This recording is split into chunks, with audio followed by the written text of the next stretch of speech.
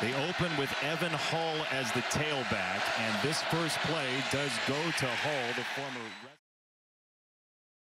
You'll see a number of multi-back sets as Hilinski goes play action on his first throw.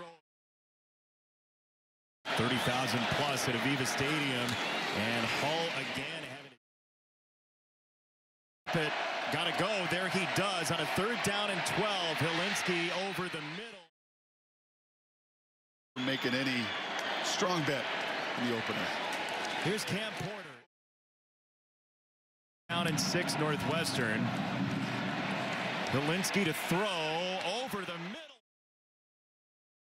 Northwestern basically 50-50 run pass and here is another one for Evan Hull. First down. Hilinski. Western, which has been well known for linebackers, including Paddy Fisher, as Hull sidesteps one, dodges another, and finds his way. The ball for about 12 and a half minutes. Northwestern has had it more of the first half. Hilinski turned. Ireland, he was here 10 years ago for his brothers to watch a game. Now he's playing on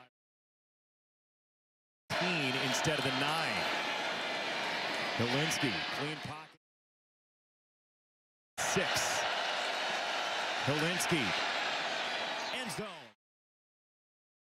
Back on a first down and goal for Northwestern. It's Porter dodging.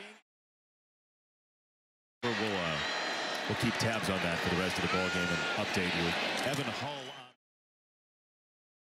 On rules here in college football. We've seen Jacoldus Crawford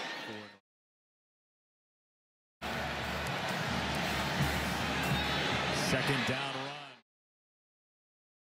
Cannot slow down Northwestern. Hull again. Hull to the outside, and he... Like that front in front of him. Back to him. Hull sidestep.